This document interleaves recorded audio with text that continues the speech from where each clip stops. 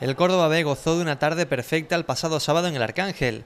Consiguió la victoria ante un rival directo y puso aún más tierra de por medio con los puestos de descenso a tercera división. Era una cita comprometida. El ejido llegaba dos puntos por encima y apretó la portería de Valera en los compases iniciales. Eso sí, sin inquietar mucho el de Bujalance. Un remate flojo de Narváez en el minuto 3 y un golpeo desde la frontal de Javilillo fue el bagaje ofensivo del cuadro celeste en la primera mitad. A partir de entonces, pasado el primer cuarto de hora de juego, el dominio fue blanquiverde. José Antonio González no tardó en dar la réplica tras un rápido contragolpe comandado por Moja Traoré.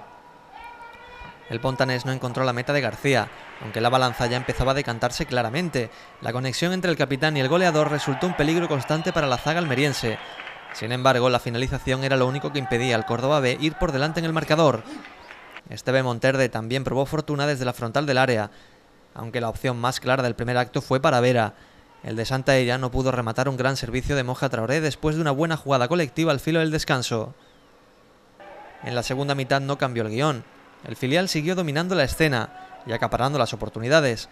De nuevo, otra conexión entre Moja y José Antonio González pudo acabar en el 1-0, pero el de Puente Genil no conectó de cabeza para superar a García.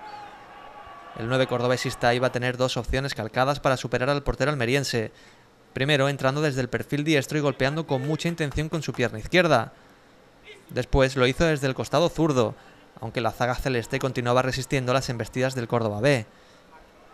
Moja era un peligro constante, y de sus botas nació el primero de la tarde, gol que Domínguez Cervantes invalidó por un fuera de juego de Vera que no era.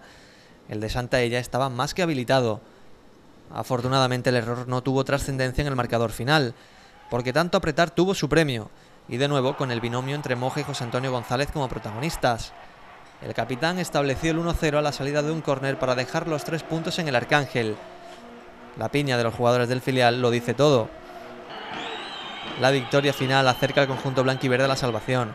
Continúa con 5 puntos de renta sobre el descenso y mete una distancia de 4 con el play-out tras el empate de la Extremadura.